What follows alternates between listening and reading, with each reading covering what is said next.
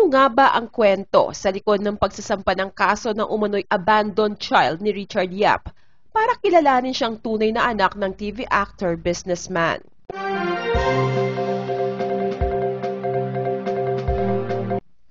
Hanggang ngayon ay tuloy pa rin ang laban para kilalanin siyang tunay na anak ng kapuso actor at Chinese businessman na si Richard Yap, ang nagpakilalang anak nito na si Joshua Paulo Jensen.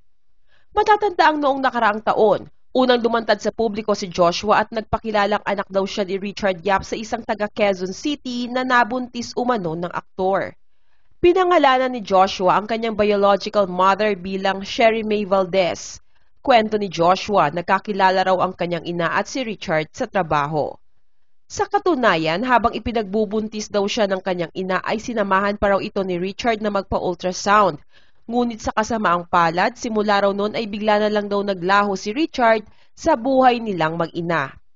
Nasa 10 hanggang 12 years old daw siya nang unang aminin sa kanya ng kanyang ina na ang aktor na si Richard Yap ang tunay niyang ama. Ito ay matapos nilang mapanood si Richard sa isang TV commercial ng isang fast food restaurant. Sinubukan daw niyang kontakin si Richard at ang pamilya nito, pero binlock daw siya sa lahat ng social media accounts nila. Ibinunyag din ni Joshua na pumunta siya sa ABS-CBN, ang dating tahanan ni Richard pero lagi raw out of town ang aktor. Kaya naman minabuti na ni Joshua na dalhin sa korte ang kanyang kahilingan na kilalanin siya ni Richard bilang anak niya kung saan nagsampa siya ng paternal suit laban sa aktor.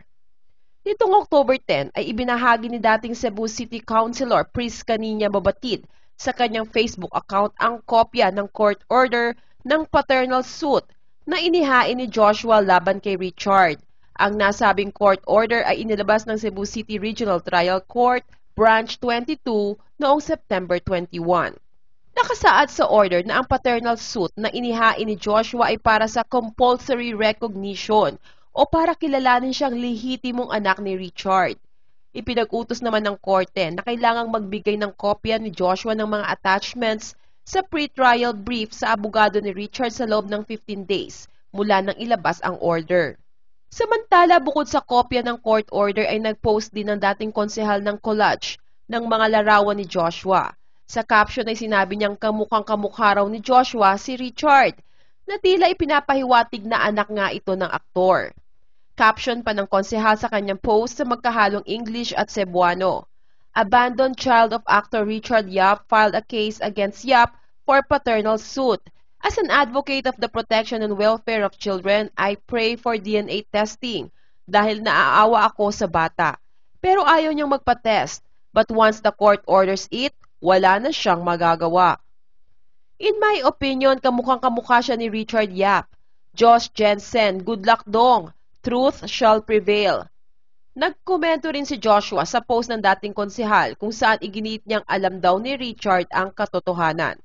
Katunayan na hinamon na raw niya si Richard na sumailalim sa DNA testing, ngunit tumanggi raw ito dahil daw natatakot ang aktor na malaman ng lahat ang katotohanan.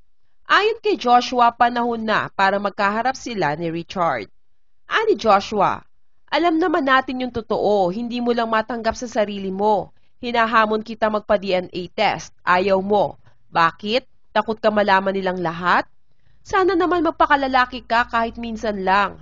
Alam mo matagal ka na naming hinahanap para makausap ng maayos. Kaso wala eh, puro ka iwas. Hinintay mo pa dumating sa puntong to. Ngayong dumating na, Siguro oras na din para magkaharap-harap tayo, para malaman na din nila kung ano ba talaga yung totoo. Huwag kang mag-alala, si Lord na bahala sa lahat. Kasunod nito ay nabahiran din ng kontrobersya at politika ang isyong kinasasangkutan ng aktor. Kasunod ng paglabas sa publiko ng issue tungkol sa inabando ng anak daw ni Richard ay muling umugong ang usap-usapan. Napaka na lamang ito ng kanyang political rival na walang iba, kundi ang dating konsehal na si Priska Ninya Mabatid na siya rin nagsapubliko sa paghahain ng kaso ni Joshua laban sa aktor.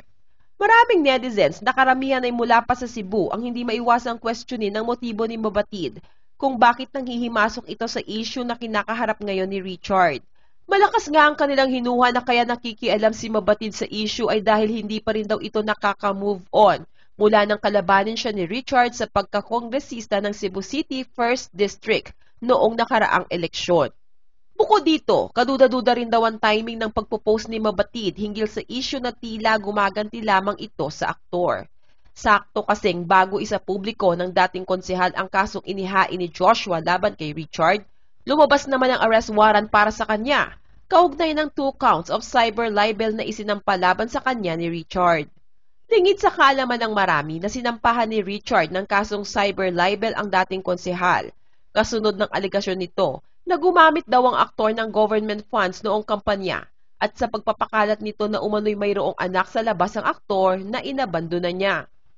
Kung matatandaan, unang umingay ang issue tungkol sa umano'y pagkakaroon ng illegitimate child ni Richard sa kasagsagan ng paghahain niya ng kandidatura para sa 2022 elections. Ito ay matapos banggitin ng dating konsehal sa kanyang Facebook Live na nahanap daw niya ang nawawalang anak ni Richard na hindi raw nito sinusuportahan. Kasunod nito ay lumantad nga si Joshua sa publiko at nagpakilalang anak ni Richard Yap. Naghain din ng petisyon si Joshua for compulsory recognition of natural child o acknowledgement of paternity and affiliation dahil ayaw siyang kilalanin ni Richard bilang tunay na anak. Samantala, itinanggi naman ni Richard Yap ang lahat ng alegasyon laban sa kanya at mariing nanindigan na wala siyang anak sa labas. Naniniwala rin ng aktor na politically motivated ang pagdutang ng isyong may anak siya sa labas at ang paglabas ni Joshua.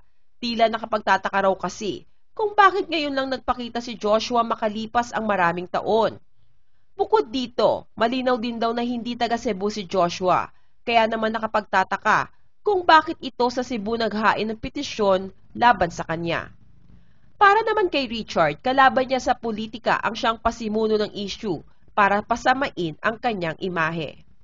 Ani Richards sa isang interview, I've been in show business for 10 years and ngayon ko lang nalaman na may anak ako. As you can see, that person is not from Cebu dahil hindi siya marunong magsalita ng Bisaya. Bakit siya sa Cebu mag-file? Sino ang nasa likod nito? She went live and that's what she said. So this has all been planned from the start.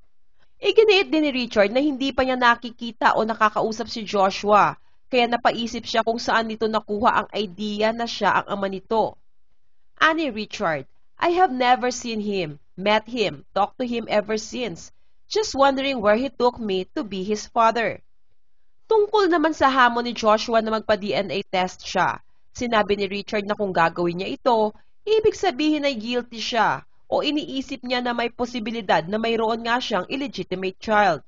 Annie Richard, I think it is for our lawyers to talk about that. If I accept the challenge, that means that we are guilty. Or we are thinking that there is a chance but there is really none. Why should I agree to what they want? Bukod dito, sinupalpal din ni Richard si Mabatid dahil sa paghahamon nito sa kanyang sumailalim sa DNA testing. Welta ni Richard, kung totoo raw na hindi si Mabatid ang nasa likod ng issue ay bakit daw ito nangingialam? Lalo pat hindi naman daw ito ang nanay ni Joshua. Ani Richard, tanong ko lang, siya ba ang nanay? Dahil bakit siya ang laging naghahamon? Dahil kung hindi siya ang nasa likod nito, ano ang dahilan kung bakit patuloy siyang naghahamon? Samantala parehong natalo sa eleksyon sina Richard at Mabatid. Gayunpaman itinuloy ng aktor ang pagsasampa ng kasong cyber libel laban sa dating konsehal. At kamakailan nga ay lumabas na ang desisyon ng korte kung saan kinatigan nito ang cyber libel case na isinampa ni Richard laban kay Mabatid. Sa kanyang pinakahuling post sa Facebook, ipinahayag ni Richard ang kanyang kaligayahan matapos lumabas ang arrest warrant para sa two counts of cyber libel case na isinampa niya laban kay Mabatid. Ani Richard, thank you Lord that the wheels of justice are finally moving. Even though she tried to influence the fiscals by calling them during the investigation which was illegal, The fiscals were honest and fair and upright, and could not be swayed by her threats and use her influence. Si Richard Yap ay nakilala bilang isang artista, singer, commercial model at businessman. Una siyang sumikat matapos gumanap bilang Papa Chen sa 2011 Kapamilya drama series na May Binondo Girl na pinagbibidahan ni na Kim Chu at Zian Lim. Gayunpaman nakuha niya ang kanyang big break sa showbiz matapos siyang gumanap bilang Sir Chief sa 2012 kapamilya rom-com series na Be Careful With My Heart kasama si Jody Santa Maria. Sa kasalukuyan, napapanood siya sa kapuso drama series na Abot Kamay na Pangarap. Si Richard Yap ay happily married sa kanyang asawang si Melody, kung saan mayroon silang dalawang anak na sina Ashley at Dylan.